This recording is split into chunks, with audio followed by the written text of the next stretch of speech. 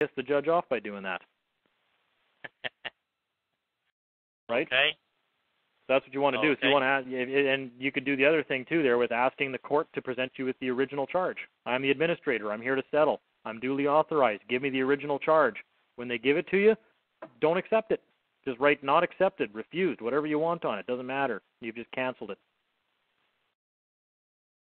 And that works by itself. I don't see why I wouldn't. What are they going to say? You can't do that? Yeah. Well, I just did it. Yeah, they're hungry for money up here, uh, down here. Yep. Yep. Say no, thank you. I don't wish to contract with these people. Offer refused. Huh. And again, there there's the other argument you could make. Well, just because I have this uh this light, well, we're getting into commercial trucking now though too. So the whole thing about just because I have a license doesn't mean I was operating it at the time of the complaint. That's always a good argument too. But you might not want to get into that because you are going to need your license for gaining a livelihood. So Well, the thing is, I don't have to worry about working for somebody else. I'm an independent uh, trucker, so I own my own business and I drive for myself. okay, Uh, and and I've got a contract to haul for these people that I just now dropped the trailer for, so they like the job I do for them. And uh, the the guy that uh, uh, the uh, what do you call that thing, transportation manager, he's been a driver, and he matter of fact, he's still got his Okay. CDL, and So he it- knows what kind of clowns they can be. So if you were engaged in a private contract at the time you were pulled over, what has the state got to do with that? Uh, basically, the way I look at it, they got nothing to do with it. There you go. Uh, So you might want to bring that up with them. Say, excuse me, I was engaged in a private contract at the time of the complaint. I was not performing a function of government or anything else you have jurisdiction over. What's your standing in this matter?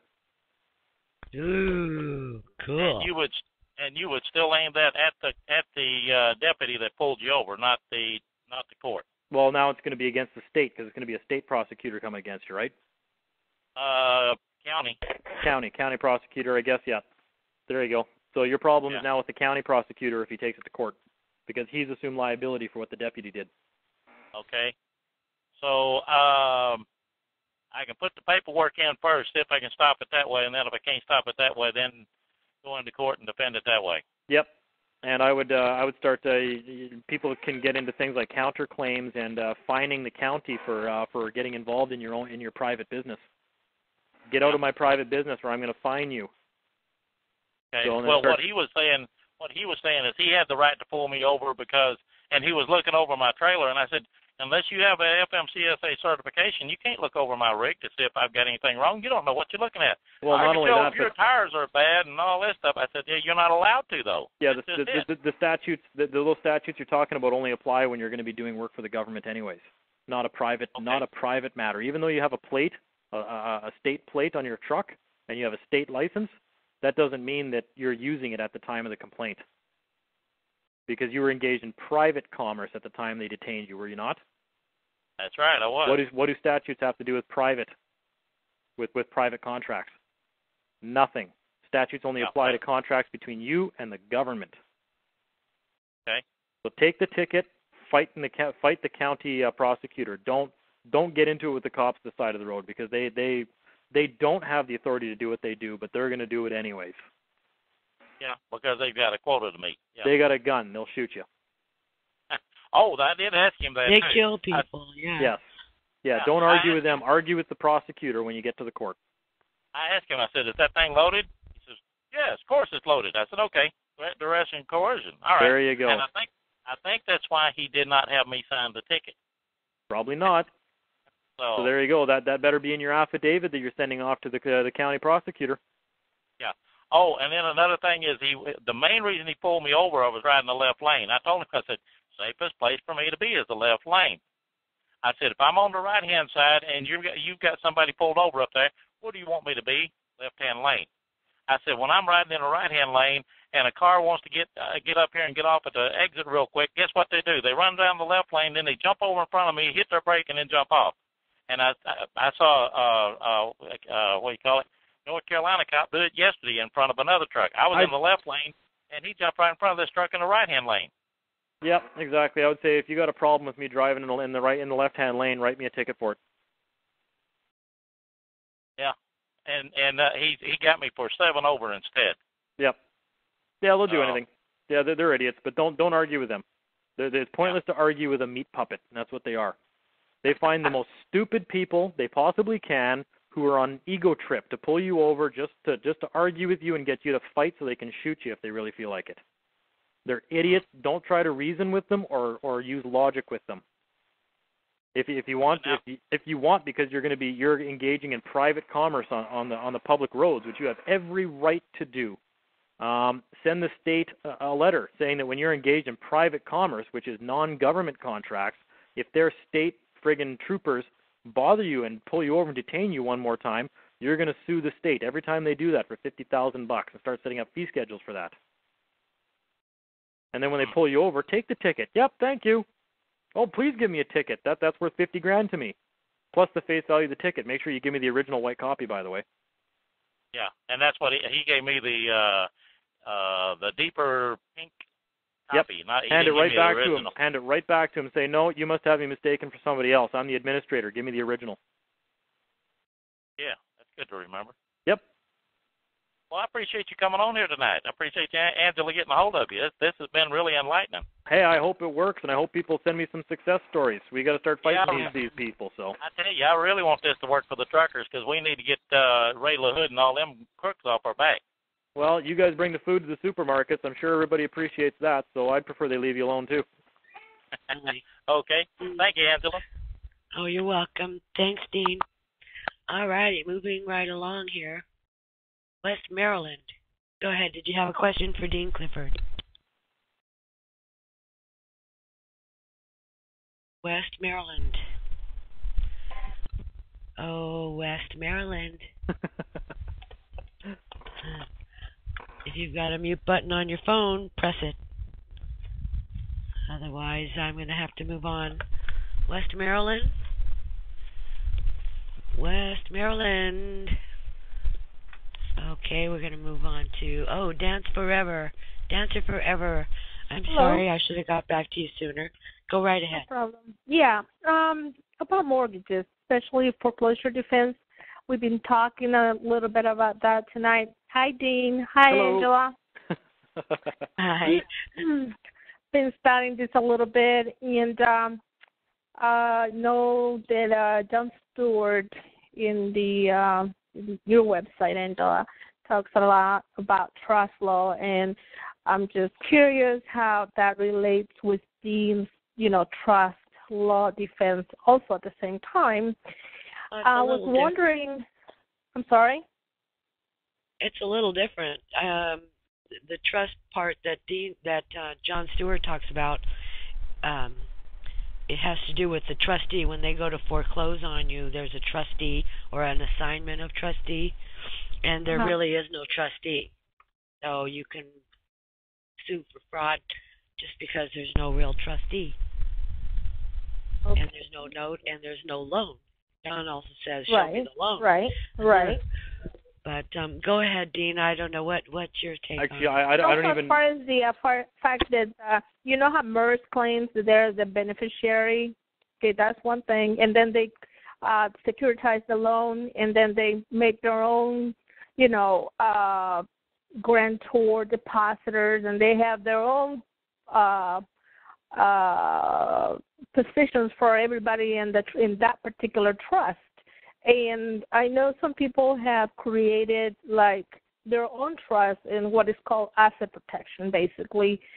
And um, anyway, I was wondering, you know, if we can go apply some more things to that and make your own where you're the executor. And anyway, can you give me some ideas as far as that, Dean? Maybe. Okay, now so so specifically speaking for a foreclosure on a house, like you were talking about originally there. Yeah, when you know people get a notice of default and uh, acceleration of the you know Yeah. acceleration notice. Ba- based on what was said there by Angela, actually, uh, to be honest with you, I don't think they're uh, even even though this individual claiming to be a trustee may not be technically a real trustee according to law. If somebody's claiming to be a trustee, I think that's great. But uh, y- by your actions, you are a trustee. If you're claiming to be a trustee, you are. I think that's great if somebody wants to appoint themselves a trustee because now they can't get out of the appointment. Right. Um, I would I would appoint whoever's claiming to be the trustee. I would appoint them as the fiduciary trustee in the matter. Say thank you, thank you for being a trustee in this matter. Now, as the trustee, I need you to go and get the original mortgage document from the people that are claiming that they have it. Oh, but see, in John Stewart's method, you're suing them for breach of fiduciary duty. Okay. There is no trustee, so it's a little bit different. It is a little bit anyway. different. Okay, I would have no problems uh, with somebody being a trustee, but uh, yeah, if you want to sue them because they can't provide their written uh, their their written delegated authority to actually be the trustee, um, you can go that route as well. People got to realize that once you understand what's going on, there's actually a million ways you can go with this stuff, um, because you are in the driver's seat. Your your signature is, is what authorizes everything, anyways. No one can come against you. Um, I don't understand why people are creating all these tax shelter trusts. There's no need to because everything's based on contract law, anyways. The, just the existence of your legal person doesn't create a tax obligation. Um, I, I think that's kind of what you were getting at, maybe with that. There's no need to create any other trust other than the express trust that already exists, which is your your legal person. And as soon as uh, that's that's why the videos, that's the concept I was trying to get people to understand. That's so important, which is the foundation uh, uh, concept of all this. Is once you understand that you are the one that is that you own all the equity that's in the trust. You're the one that created it. You generated it. Your signature is is God of that trust because you're the administrator. Um, you're in complete control and authority of your life. What do we call that? Knowing Yes. who you are. Knowing who you are, that's what it is. And once you know who you are, the answers just pop right out to you. You know how to proceed in every every instance. Uh, but it takes some learning. It uh, unfortunately, like I say in one of the videos there, um, you know, it's it's like I went to university for four years uh, and got a degree uh, in, in knowing who I am, and then people kind of come and they say, "Hey, awesome! Can you teach me that in two hours?" I was like, "Well, mm, no, not really." Like there, there, there, there's, I, I could probably give you some of the concepts, but you're you're never going to understand it until you actually like like uh, start to live it and start to start start to Teach it to others. yeah. Yeah unfortunately that's the way it works. I mean uh, the the knowledge is revealed to you. It's not something that you can just be be told in an hour. Uh, but um i don't know. Geez I, I it's, it's kind of a vague question but i i hope i i answered No, it I a was bit. just wondering, you know, if there was another twist to it. I mean, I know what you're talking about is uh, knowing who you are and what what your role is on the trust. yeah Yeah, but I was just wondering if if it could be changed when you're in the court, you know, fighting the banks. I'm not sure what you would want to change because as the administrator, you're the one to, you're the one that's going to be demanding documents from the person bringing a claim Mhm. against your legal person, right? Mhm. So if you're the So you administrator, want to say, no, that no, I- on your pleadings? You're saying you want to you want to make yourself that on the on Well, the pleadings? I- will I- you, will I you hate say doing that a little things- bit different? I hate doing things Uh-huh. through the courts. What I like doing is I Mhm. like defaulting people in advance. So what I if, Uh-huh. if a bank's coming against me, I'm going to want to contact their solicitor in between hearing dates Uh-huh. and say, hey, can you provide me with this and this and this and this and this? If you don't provide me with the original mortgage document, then we have agreement that you don't have it. That nobody Right. does. That the bank is no longer the holder in due course, which means they have no claim. When they Right. don't produce it, then you send in that document along with your uh, a motion to uh, uh, to dismiss the charges or dismiss dismiss the claim or strike the claim from the record, whatever you want to do. Uh, You Mhm. send in the document that you now have agreement. You have agreement with the other party. And the other party, what are they going to do? They're going to jump up and say, "No, we don't have agreement." Say, "Well, then why didn't you produce the document?" It says right here we have agreement that you're not the holder in due course if you don't present it to me, and you didn't present it to me. That sounds like agreement to me. If you have agreement of the parties, there's nothing left for the judge to make a determination on. Judges only handle disputes. If you have agreement, they have to act on that. That is law. Agreement or a law is agreement of the parties. So get agreement from the party before you even go to court. And now there's nothing a judge can do about it. And like I say in the videos, agreement doesn't mean you agree with the person who's making a claim against you. Agreement means you get them to agree with you that they don't even have a claim in the first place. Now you have agreement when you go to the court. These guys have no claim. I have agreement with them. And then sue them for a frivolous and vexatious lawsuit. Alrighty. That's Alrighty. good for Well, you. Thank you, Dean. uh, no problem. I hope it helped. Yeah, I mean, just uh trying to see if there was another twist to that. I'll, you know, thank get you. I it. appreciate it. it. And, um, you know, great, great work. Yeah, agree with thine adversary. Agree with your adversary. Agree with your adversary. Get agreement before you go to the judge. That's critical. Okay. Okay, thank you.